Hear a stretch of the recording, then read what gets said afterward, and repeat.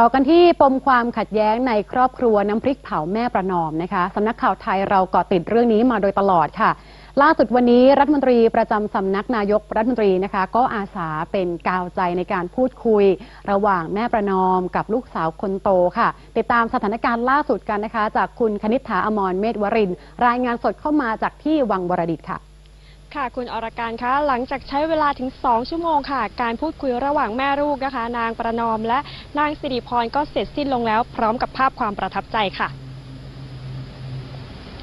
นี่เป็นภาพวินาทีแห่งความประทับใจของแม่ประนอมกับนางสิริพรบุตรสาวคนโตนะคะ ที่สวมกอดกันด้วยความรัก น้ำตาของสองแม่ลูกไหลอาบแก้มค่ะ และนับเป็นครั้งแรกนะคะ ที่ทั้งสองได้พบหน้ากัน หลังมีการยื่นร้องขอความเป็นธรรมต่อนายกรัฐมนตรีเมื่อช่วงปลายเดือนมีนาคมที่ผ่านมาค่ะ การพูดคุยวันนี้เป็นไปด้วยความเรียบร้อยนะคะ โดยฝั่งแม่ประนอมนะคะ มาพร้อมกับนางสิริวัลบุตรสาวคนรองค่ะ ส่วนฝั่งนางสิริพรนะคะ ก็มาพร้อมกับนางสาวอุรชาบุตรสาวเช่นกันค่ะ โดยวันนี้นะคะแม่ประนอมบอกว่า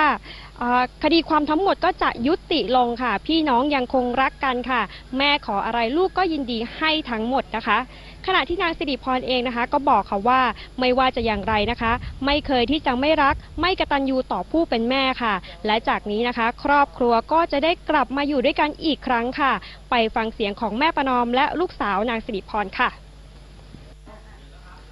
รักกันค่ะ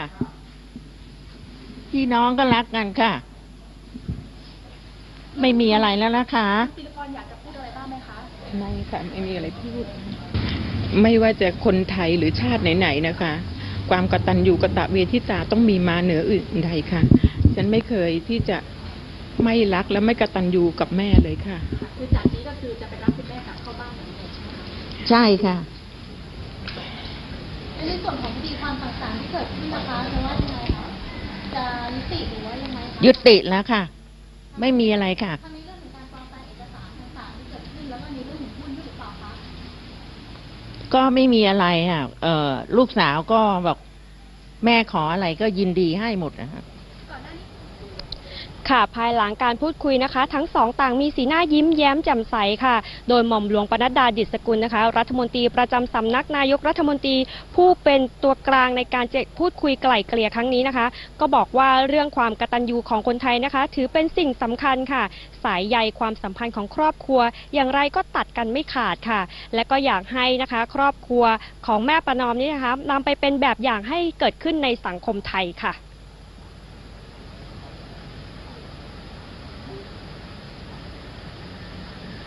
ค่ะสำหรับการพูดคุยในครั้งนี้นะคะ นอกจากจะมีการตกลงกันด้วยวาจาแล้วนะคะ ก็ยังมีการทำบันทึกข้อตกลงระหว่างแม่ประนอมกับนางสิริพรบุตรสาว ในเรื่องทรัพย์สินด้วยค่ะ